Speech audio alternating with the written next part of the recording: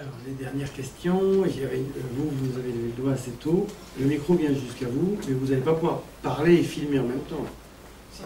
Si, si, voilà, ça, voilà, ça, ça- ça- Vous, vous- alors, allez-y. Anne la pointe, notre royaume. Euh, moi, ce qui me frappe depuis hier, c'est que euh, le mot amour revient souvent dans vos paroles. Alors, je voudrais savoir si euh, l'amour, c'est ce qui vraiment euh, vous, vous porte dans, dans votre travail. Bah, euh, oui, je ne sais pas comment.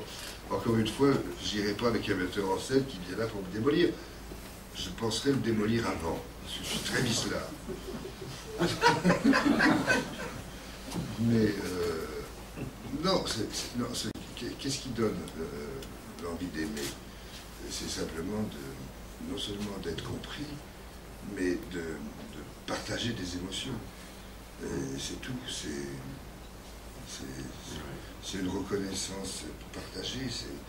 Donc, je ne peux faire des choses que par passion. Alors, dans la passion, il y a l'amour, mais je- je n'ai pas de plan de carrière ni d'ambition. Ce qui m'intéresse, c'est les gens. La preuve, c'est des gens comme euh, à Moscou, sur des gens dont on dit euh, des dictateurs, des choses on s'en fout. Le, cinéma est une dictature aussi. Une vraie dictature, la dictature de l'amour, ou d'un langage, d'une compréhension, d'une ouverture, euh, je pense que c'est un, un art, d'ailleurs même des grands écrivains comme Victor Hugo, comme Balzac, ils ont toujours écrit sur leur époque, et les grands cinéastes, c'est sur leur époque. C'est sûr que dans les rétrospectives de Becker, tu vois la vie de Paris. C'est vrai, quand tu vois ces vieux films, tu vois la place de la Concorde avec des quatre chevaux ou des arondes. Euh, ça. Il faut être euh, extrêmement euh, interneté, je dois dire, pour ne pas voir les quatre chevaux ou les, choses. Il faut être dans ces espèces d'internet où je ne sais pas comment ça marche, en essayant d'être dans le dans fake. Mais Tru- Truffaut disait que un metteur en scène qui vient se plaindre qu'on lui a imposé ses acteurs est un metteur en scène qui réussira peut-être un film, deux films, et au troisième il disparaîtra. Oui. Hein.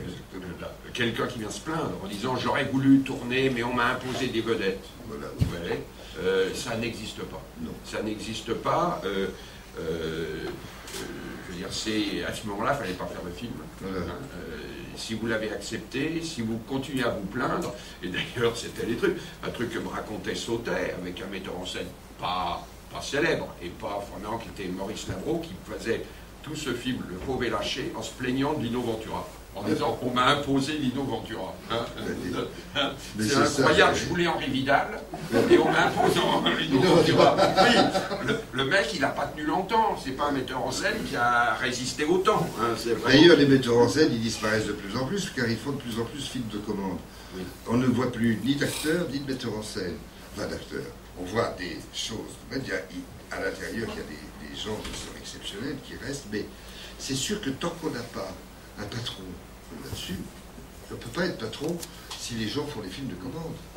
Hein, si on se dit, bah, tiens, il y a un tel, il est doué pour ses cascades. Mais je veux dire, c'est un tout. Si il- le, le type n'est pas nourri, n'est pas, n'est pas, n'a pas son histoire en lui, je ne vois pas comment un film. Mais l'absence de désir des financiers Bah oui. est une des puissances qui font de l'argent et le pire, la pire censure. Oui, c'est-à-dire que c'est maintenant on se tourne vers les, les collections, je dirais de la peinture, on s'achète une âme. Mais c'est vrai que dans le, le cinéma, ça serait, c'est quand même, euh, c'est extraordinaire, bien sûr, il faut, parce qu'ils pensent que, ils pensent qu'il y a beaucoup de voyous dans ce métier, mais c'est avec les voyous qu'on peut faire des belles choses aussi.